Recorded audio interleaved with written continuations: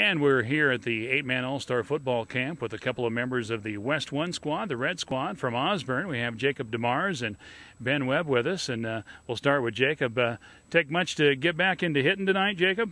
Um, a little bit, you know. Takes a little while to get back to uh, finally getting in some contact, putting the pads on, but feels good. Uh, what position you think you'll be playing here? Um, from practice now, it looks like I'll be playing a little end, and uh, then when we go into some of our gun stuff, I'll be playing some wide receiver. And then uh, I didn't work on any defense tonight, and I'm sure I'll get some reps tomorrow. So.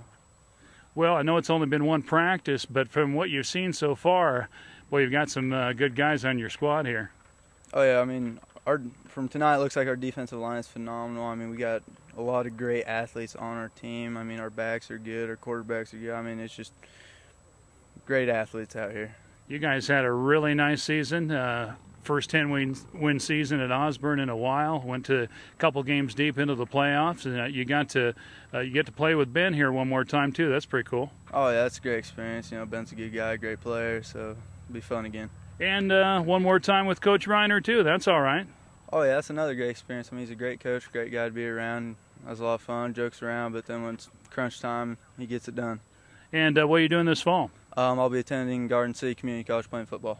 All right, very good. Let's talk to Ben Webb. Uh, ben, uh, probably uh, offensive and defensive line here. Uh, yeah, uh, more offense. I think I didn't get any reps in tonight, but on defense. But uh, I'll probably get some reps on tomorrow.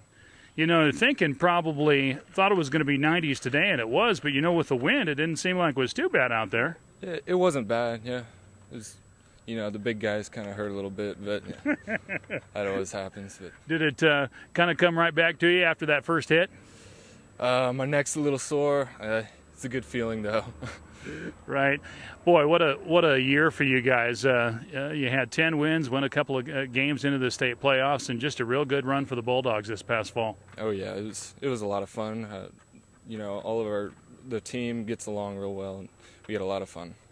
And like I said, you get to play with Jakob one more time and get to play for Coach Reiner one more time. That's pretty cool. Yeah, great experience. Uh, I don't think all the other guys are used to Reiner yelling, and but uh, he's pretty intense when he coaches, isn't he? Yeah, we we get after it. I I think we all like him though. So. all right, sounds like they're keeping you busy. I think uh, I think it's bowling in the pool tomorrow, so they've got a lot of things for you to do here. Oh yeah, yep. We're we're gonna have fun. All right, what you doing this fall?